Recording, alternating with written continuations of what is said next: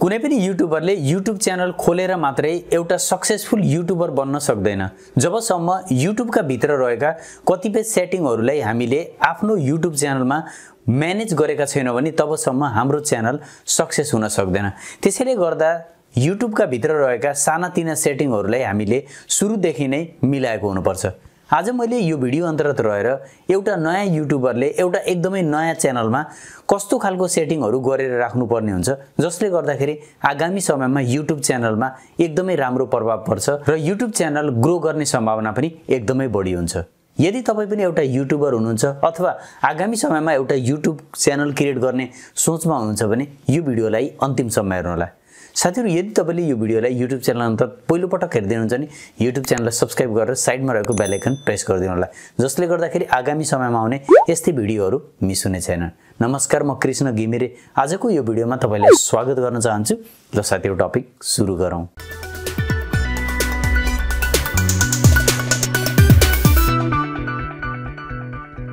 साथीहरू अगाडि बढ्नुभन्दा पहिले प्लिज यो भिडियोलाई लाइक गरिदिनु होला। अब बुझौँ कि हामीले कसरी युट्युब च्यानलका भित्रका विभिन्न सेटिङहरूलाई म्यानेज गर्न सकिन्छ। यसलाई जान्नको लागि हामी डाइरेक्टली आफ्नो ल्यापटपतर्फ लाग्नेछौँ तर तपाईँले यो सम्पूर्ण सेटिङलाई आफ्नो मोबाइलमा पनि गर्न सक्नुहुन्छ।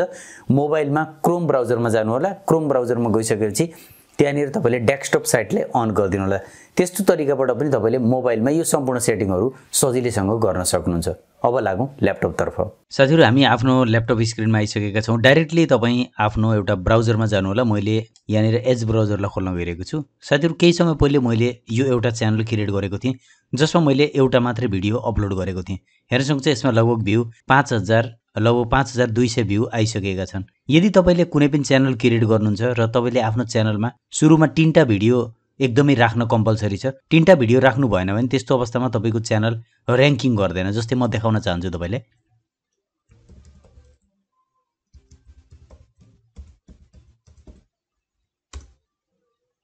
अब हेर्न सक्नुहुन्छ यो अटो नलेज भनेर मैले च्यानल बनाएको थिएँ। यहाँ हेर्न सक्नुहुन्छ अटो नलेज भनेर रहेको छ।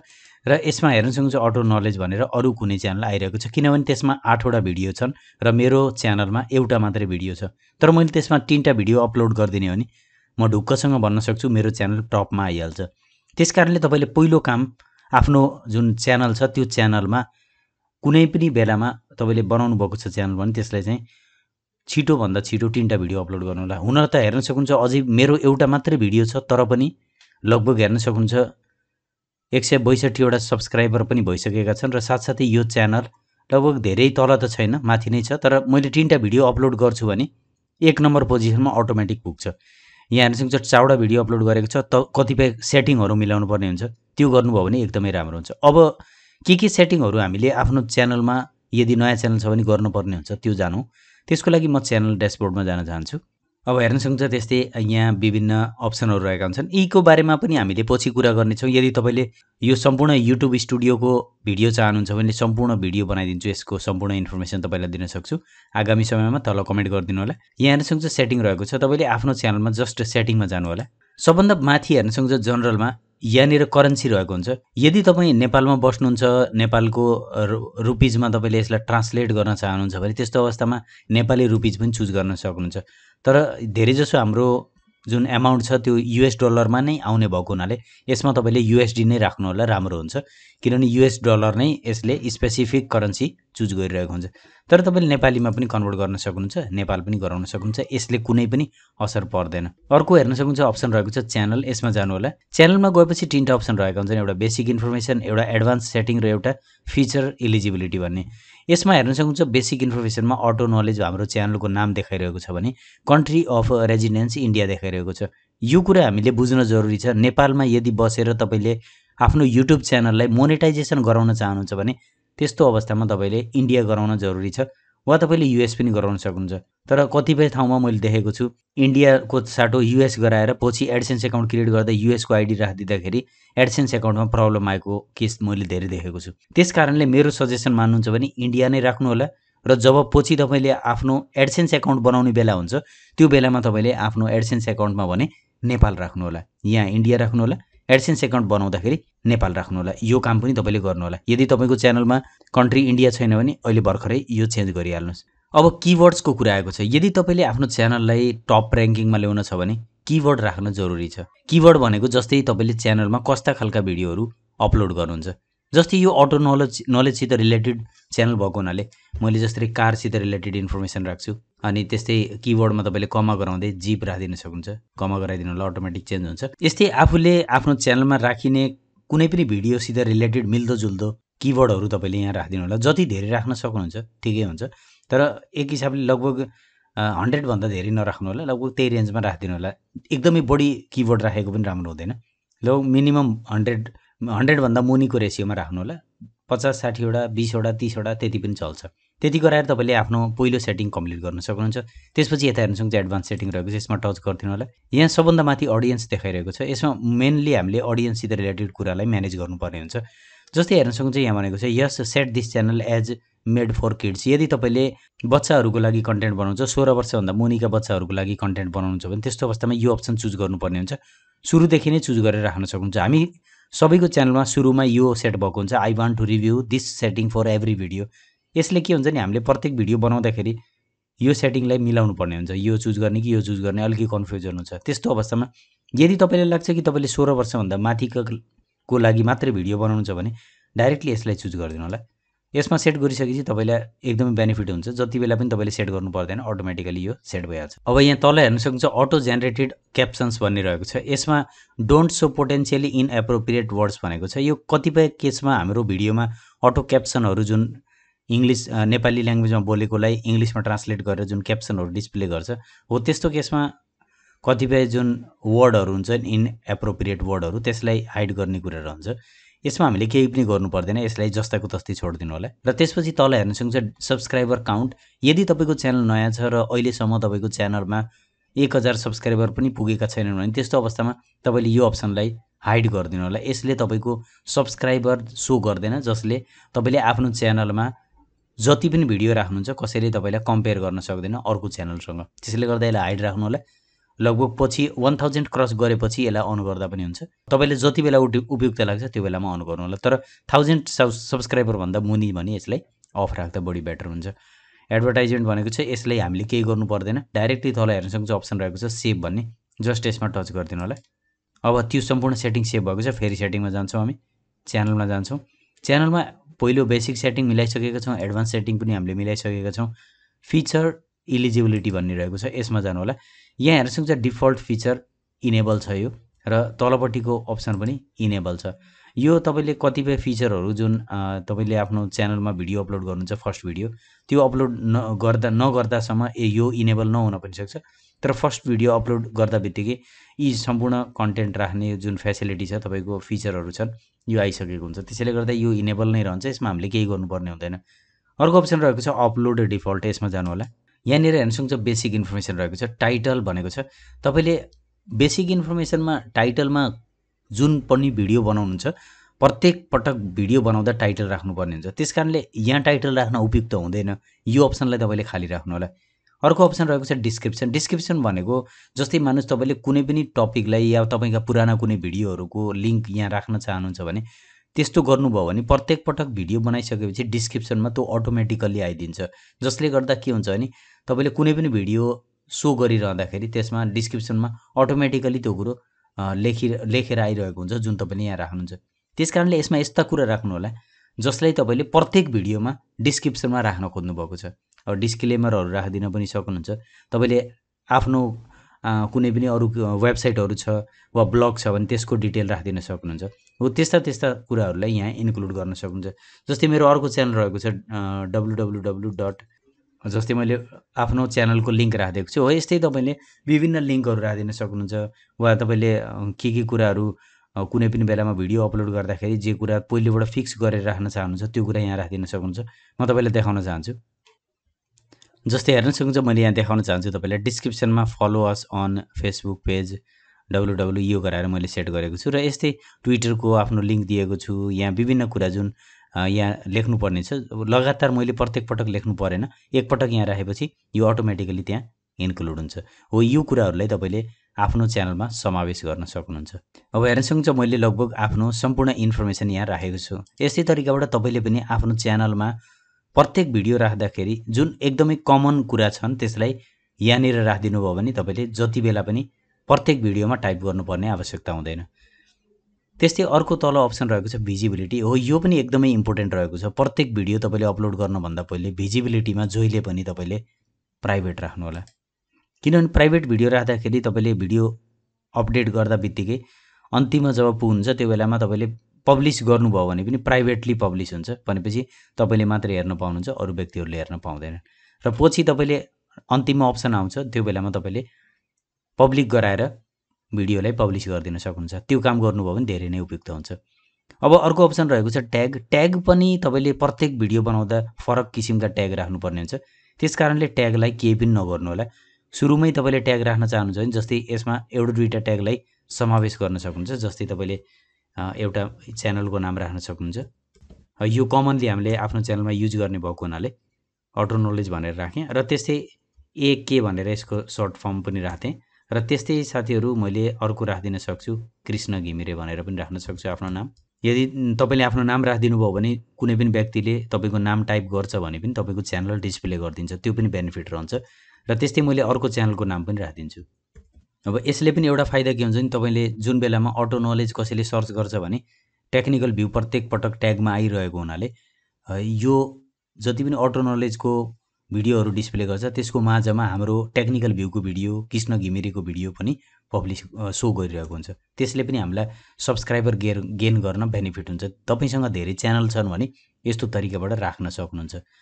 त्यस्तै अर्को अप्सन रहेको छ एडभान्स सेटिङ अहिले सेभ गर्नेछौँ हामीले पहिले एडभान्स सेटिङमा चेन्ज गरौँ। अब यहाँ हेर्नुहोस् चाहिँ भनेको छ स्ट्यान्डर्ड युट्युब लाइसेन्स। यसमा हामीले केही पनि गर्नु पर्दैन। अब त्यस्तै यता क्याटेगोरी रहेको छ। तपाईँले अब कस्तो खालको भिडियो बनाउँदै हुनुहुन्छ अहिले? त्यो भिडियोको क्याटेगोरी राख्ने हो। जस्तै अब हाम्रो हाम्रो अटो नलेज भनेपछि अब गाडीहरूसित रिलेटेड रहेको छ। अटोज एन्ड भेहिकल्स भनेर छ। यहाँ हेर्न सक्नुहुन्छ यसमा टच गरिदिन सक्नुहुन्छ। किनभने यसैसित रिलेटेड हाम्रो च्यानल हो। त्यसैले गर्दा प्रत्येक भिडियोमा यो देखाइरहेको हुन्छ। यो एउटै निचमा काम गर्दा धेरै राम्रो हुन्छ साथीहरू। यसमध्येबाट तपाईँले कुनै पनि एउटा अप्सनमा काम गर्न सक्नुहुन्छ। त्यस्तै अर्को रहेको छ ओरिजिनल भिडियो ल्याङ्ग्वेज हो। यहाँनिर तपाईँले ख्याल गर्नुपर्ने हुन्छ धेरै साथीहरूलाई मैले देख्छु यहाँनिर आफ्नो भिडियो ल्याङ्ग्वेज एउटा कुनै एउटा भिडियो ल्याङ्ग्वेज चुज गरिदिनुहुन्छ त्यो गल्ती नगर्नु होला किनभने तपाईँले यदि कुनै पनि एउटा भिडियो ल्याङ्ग्वेज चुज गरिदिनु भयो भने त्यस्तो अवस्थामा जस्तै मानुस नेपाली चुज गरिदिनु भने धेरैजसो युट्युबले के गर्छ भने त्यस्ता खालका भिडियो तपाईँले बनाएका भिडियोलाई नेपाली पिपुलहरूमा रेकमेन्ड गरिदिन्छ जसले गर्दा तपाईँको च्यानलमा भ्यू त्यति राम्रोसँग आउँदैन। त्यही भएर भ्यू कमी आउँछ यसले। त्यही भएर यसलाई नट एप्लिकेबल राख्नु होला। केही पनि न कि नट एप्लिकेबल राख्नु होला नत्र भने यसमा केही चुज नगर्नु होला अटोमेटिकली ननमा रहन्छ।